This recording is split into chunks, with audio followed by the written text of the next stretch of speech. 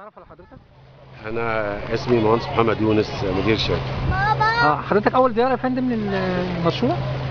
آه اول أول زيارة أنا كنت بصراحة ب ب بتمنى الزيارة دي من زمان لكن الحمد لله إن هي حصلت النهارده يعني. وإيه اخرك ده كله يا آه ما أعرفش ما كانش فيه ترتيبات آه وكانت ظروف طبعا شغلي ظروف سفر وكده لكن يعني بلغت امبارح إنه في زيارة النهارده ف انطباعك إيه بقى بعد جولة بحرية في القناه يا فندم؟ اسعد يوم في حياتي لو أنا أقول لك يعني أسعد يوم. اسعد أنا بالنسبة لي اسعد يوم في حياتي اسعد يوم من إن أنا عندي أنا عندي أربع بنات وأنا سعيد إن أنا ده يوم زي أهم من من حتى من ولادة بناتي آه أنا كنت متوقع ما شاهدته النهارده يا فندم؟ لا ما كنتش متوقع لا لا يعني آه، لل- للأمانة ما يعني آه، ما كانش عندي الإحساس ده يعني اللي أنا شفت ده اللي أنا شفته النهارده أنا واللي أنا سمعته من سيادة الفريق آه، في معجزة تمت آه، وفي معجزة بتتم والمصريين عايشين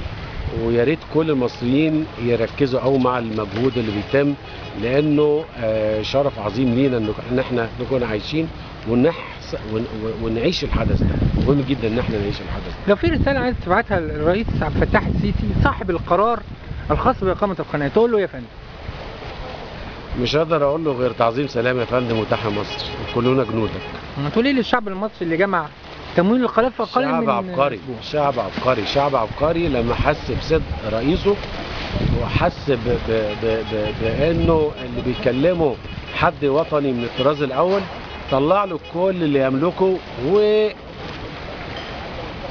يعني كل واحد يعني أنا أعتقد إنه الشعب المصري يقدر يطلع يقدر يعمل معجزات أكتر من كده تقول إيه للفريق مهمه مش صاحب الفكرة والدراسة الخاصة بالقناة يا فندم؟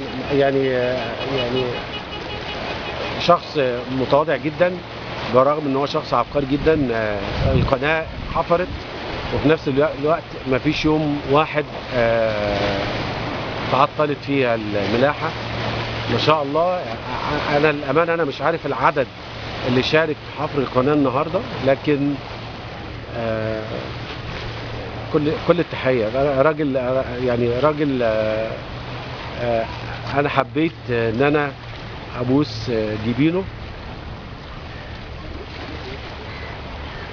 تقول ريت المصري؟ ويا ريت ينقل قبلتي دي لست الرئيس. ان شاء الله تقول إيه للجيش المصري اللي أشرف على مرحلة الحفر الجاف في قلب رمال سيناء يا فندم؟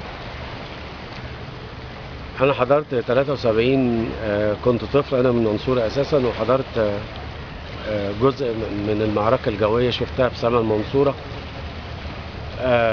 طبعا ما كان ليش الشرف إن أنا في التوقيت ده أبقى في قناة السويس لكن أعتقد ان النهارده أنا عندي الإحساس ده إن أنا عبرت قناة السويس في 73 جميل. تقول إيه شكرا لل... للجي... شكرا للجيش مصر. جميل. تقول إيه للشعب المصري يا فندم؟ إن شاء الله مع قائد آه، مبدع مخلص آه، بيشتغلوا بس. بيشتغل.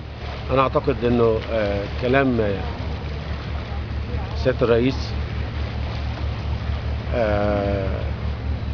يعني ما تقدرش تقارنه ب ب ب ب ب ب ب بأفعاله بطموحه اللي بيتمناه لمصر آه، سياده الرئيس عنده أحلام كتير وإن شاء الله إحنا معاه وإحنا جنوده وإن شاء الله يعني معاه ومع شعب مصر إن شاء الله كمواطن. مصري آه، جزء من الشعب المصري تقول رسالة لو في رسالة للعالم من هنا من قلب قناة السويس الجديدة فندم؟ آه، طبعا إحنا آه، يعني آه،